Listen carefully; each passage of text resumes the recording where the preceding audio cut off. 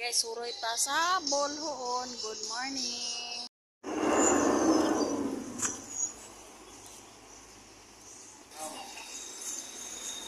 Nya mo gawas ako. Ano siya ng munisipyo sa Bolhoon.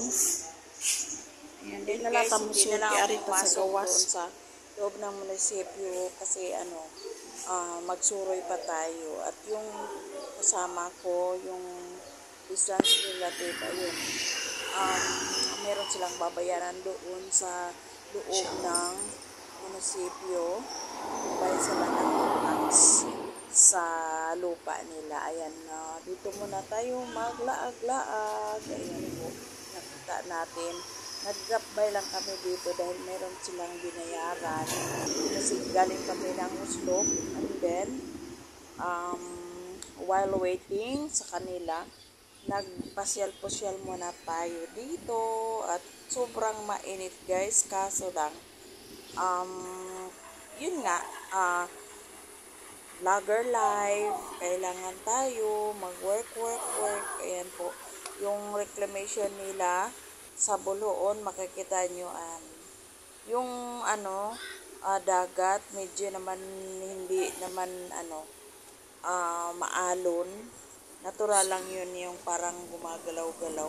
Yun, makikita natin doon sa may unahan. Mga makaka, makakaraan din tayo dyan kasi sa tabing ano yan na dagat, yung daanan yan papuntang Cebu.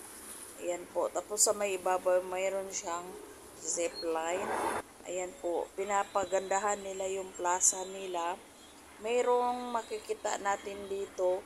May nakalagay dyan, naka, ano, nakahilira na nakalagay ng yellow, ano tag, anong tawag yun, yung flower nila.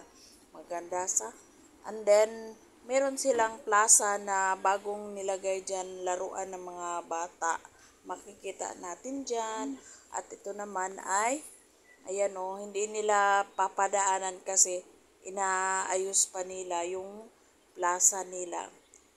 Malaki din ang plaza nila pero mas malaki ang Oslo. Yung plaza nila, yung bandang may quartel. Ayun po. Ayan yung makikita nyo dyan. Mayroong mga bagong, yan, bagong bago yan. Yung naka-orange yan. Laruan ng mga bata. Yun, bago yan. Talaga makikita mo dyan sa personal. Makikita mo hindi pa talaga yan kakalagay lang. Hindi pa nagamit ng mga kabataan dyan na taga taga roon dyan. Yan yung makikita mo, mayroong nyog at ah, ang sarap uminom sa ayun po. Um, as you can see there, ayan o, maganda din kasi yung mga ano nila, mga tanim, hindi siya gaanong namatay. Oo. Di, mayroon ding mga ano, buhay pa na daw. Ayan po yung ano nila, simbahan nila, makikita natin yung simbahan sa uh, Roman Catholic po yan. And then, may makik makikita tayo ang dyan na Coffee, mga Gobernadora. taong, Bolhoon sila. um, I-renovate ano nila dyan, guys. So, nagtrabaho dyan sa may ano, parang nila. bagong Oh, restaurant nice. dyan. Inaayos lang nila. Ayun, makikita natin may nakadam, maka, nakalagay dyan sa labas ng mga simbahan.